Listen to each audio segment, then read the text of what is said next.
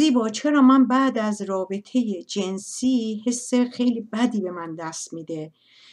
اولا بسیار حشری هستم و خیلی دنبال سکس هستم.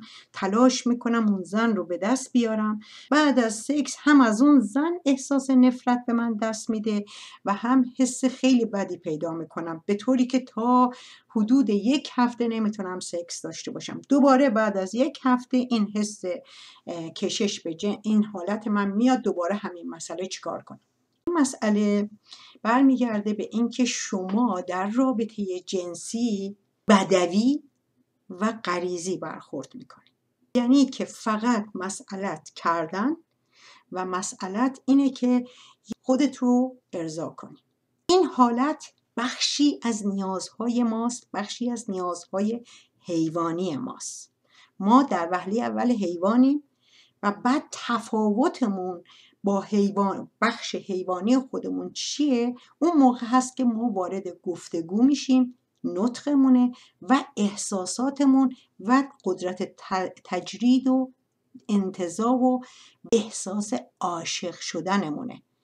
تو چون نیاز بدوی خودت که بخشی از نیاز غریزی خودت هم که بخشی از وجودت هست اونو برآورده می‌کنی اون بخش دیگه تو که در این جامعه به هر حال انسان تکامل پیدا کرده وارد یک مرحله مدنیتی شده دیگه. اخلاقیات هم اونجا به وجود اومده. اخلاقیات و مذهب و فلان و اینها که بازم بگیم که مذهب و اینجور چیزا در مراحل بعد از بدویت به وجود اومده دیگه. واسه همینه که در مقطع خودش مذهبم در یک زمانی سازنده بوده. برای انسان خوب بوده. ولی انسان به مرور که تکامل پیدا کرده از اینها بینیازتر شده. حالا شما این دوتا تناقضی که به وجود میاد تناقض درونته. یعنی از یه طرف میگی آیا من واقعا فقط حیوانم؟ توصیه من چیه؟ زن رو به عنوان یک کس نبین. زن رو به عنوان یک انسان ببین. به انسانی که می‌تونه بخش های مختلف ابعاد مختلف تو رو تغذیه کنه. میری هنر عشق ورزیدن رو یاد می‌گیری. هنر فقط کردن رو یاد نمی‌گیری. هر کردن همه داره. اصلا یاد گرفتن نمی‌خواد که. عشق ورزیدنه که باید یاد بگیری. کردن اصلا تو ذاتت هست. می‌کنی بالا یاد می‌کنی. دیگه مگه یه گاو یاد گرفته؟ فقط نگرفته که تو ذاتش هست دیگه. می‌بره این بود انسانی تو با بود حیوانی توی که این دوتا تناقض ایجاد میشه.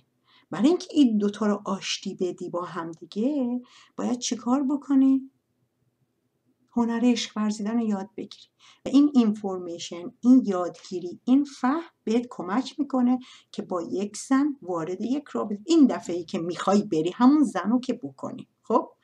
بگو عزیزم می‌خوام امروز نکنمت. می‌خوام بشینیم با هم دیگه یه چای بخوریم. بیا قدم بزنیم. بیا با هم حرف بزنیم. و اینا یه دفعه می‌بینه همون زنی که تو فقط کس میدیدیش بابا چشم داره مو داره ابعاد دیگه هم داره زیبایی های دیگه هم داره. اون موقع می‌بینی از این تناقض میای بیرون. اونم جواب سوالتون.